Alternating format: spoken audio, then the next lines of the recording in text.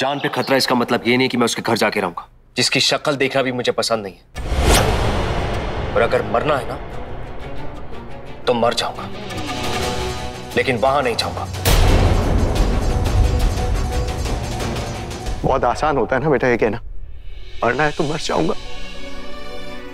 लेकिन तुम जानते हो सुरेश, जब कोई इंसान मर जाता है ना, उसे इतनी तकलीफ़ नहीं होती जितनी कि उन लोगों को जिनको पीछे छोड़ जाता है।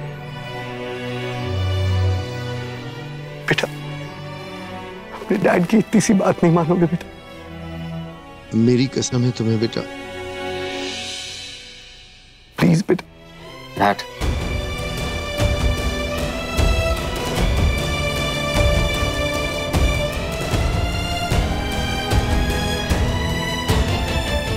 ठीक है जैसा आप कहें। इंस्पेक्टर साहब आपने फाल्गुनी से इस बारे में बात की। पहले मैं मिस्टर रावत की हामी चाहता था। अब मैं उन्हीं के घर जा रहा हूँ।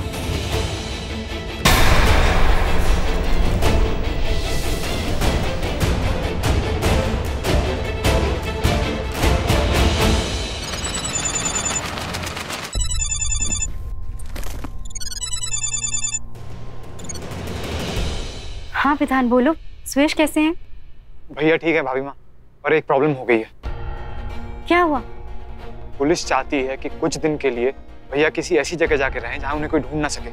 और वो ऐसी जगह होनी चाहिए जहाँ कोई सोच भी ना सके कि भैया वहाँ रहते हैं। और पुलिस के हिसाब से वो जगह आपका घर है।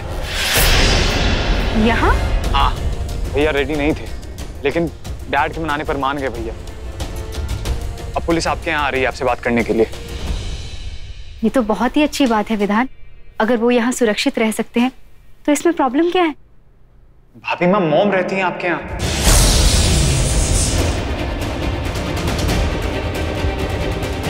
अब बताइए मुश्किल नहीं होगी।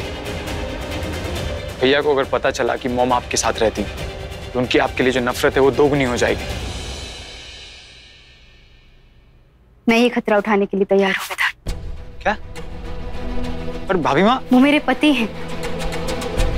उनकी सुरक्षा मेरे लिए सबसे पहले आती है विधा। और नफरत का क्या है? नफरत तो नफरत होती है। आज जितनी है कल दुगनी होकर भी उतना ही दर्द देगी। और मोम? मैं कोई उपाय सोचती हूँ। तुम फ़िक्र मत करो। भाभी माँ प्लीज़ सोच समझ कर फैसला लीजिएगा। कहीं बात बिगड़ ना जाए।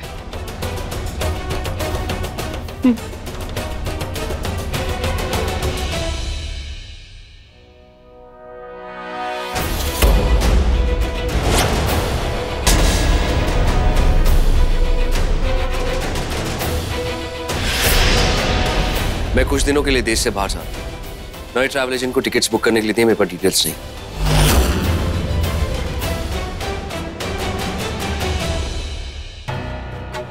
भैया वो मैं पुलिस ने जो कहा तो छोटे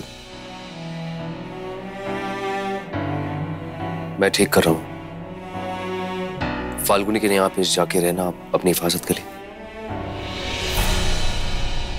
भैया डैड ने जो कहा है सही कहा है। आप ज़्यादा मत सोचिए। वो कहते हैं ना कि जान है तो जहान है। डैड भी निश्चिंत हो जाएँगे। आपके ऊपर दो अटैक्स हो चुके हैं। आपकी चिंता में डैड का ब्लड प्रेशर बढ़ जाता है। और अगर फाल्गुनी ने मना कर दिया तो? नहीं वो मना नहीं करेंगी। मुझे ऐसा लगता है।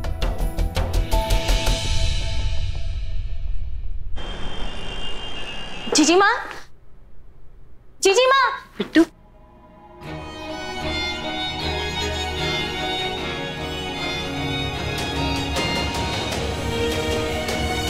मेरी जान निकल गई थी जीजी माँ आपने बताया भी नहीं।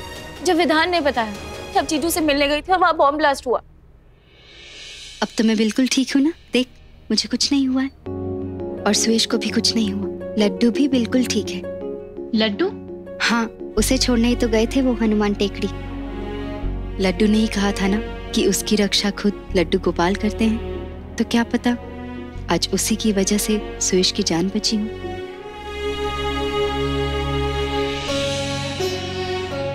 आइए।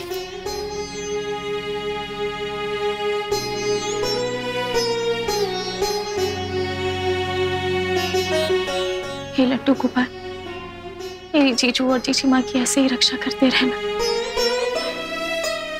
पर अब जब मुश्किल आई है उसका हल तो अभी तक लड्डू गोपाल ने नहीं बताया। मुश्किल? हाँ बिट्टू। पहले विधान का फ़ोन आया था और अभी इंस्पेक्टर साहब बात करके गए हैं। किस बारे में? सुयश कुछ दिनों के लिए हमारे घर पर रहने आने वाले सबसे छुप कर रहेंगे बिना किसी को बताएँ। और हमें भी ये बात खुद तक ही रखनी होगी। मॉम जीजी माँ, मॉम। वही तो मुश्किल है। कहाँ रखेंगे हम उन्हें? बिट्टू, अब सिर्फ़ एक ही रास्ता। है जो डॉक्टर अवस्थी ने कहा था सासुमा को हमें मानसिक रोग चिकित्सालय में भेजना होगा।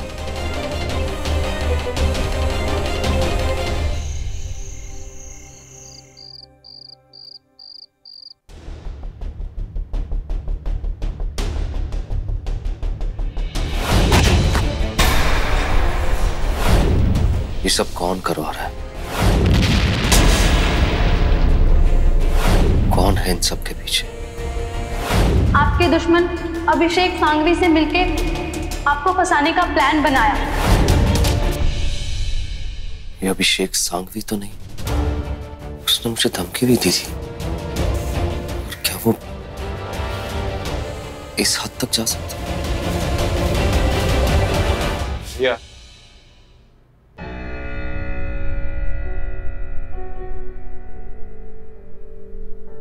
भैया इंस्पेक्टर सिंह ने सारा इंतज़ाम कर लिया। ये लीजिए। जल्दी से तैयार हो जाइए।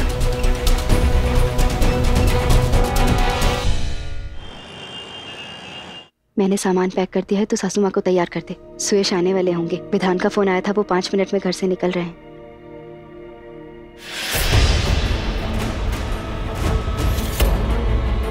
मॉम?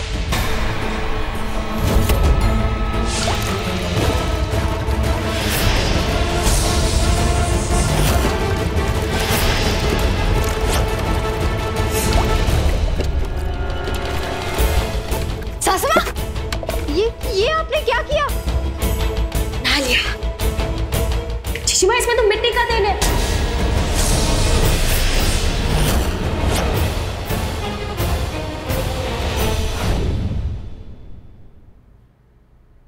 है भैया चले।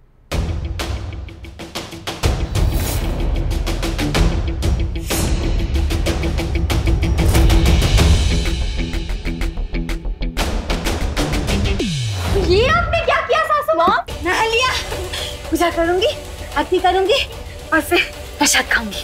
पर इसमें पानी नहीं था। मुझे बस सिखा मुझे पता है पानी था। अब मैं पूजा करूँगी आरती करूँगी दिया करूँगी और फिर सासू रुके मिट्टी का तेल है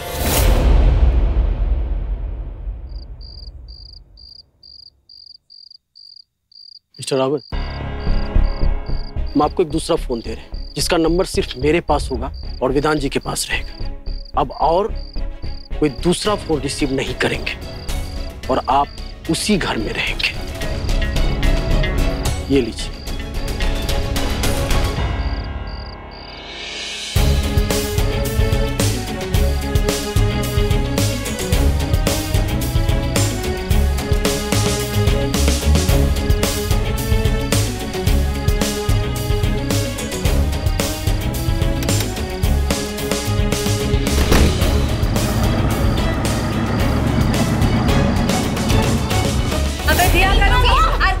आरती और जाएगी। वो पानी नहीं नहीं कुछ नहीं। होगा। भगवान जी की आरती करने से सब कुछ अच्छा होता है। पाप लगेगा तुम्हें। जाओ। मुझे पूजा करने दो। मिस्टर रावत जो बातें हमने आपको बताई है उसका पालन कीजिएगा। मुझे पूजा करने दो। मॉम मॉम करेंगे हम। मॉम नहीं मॉम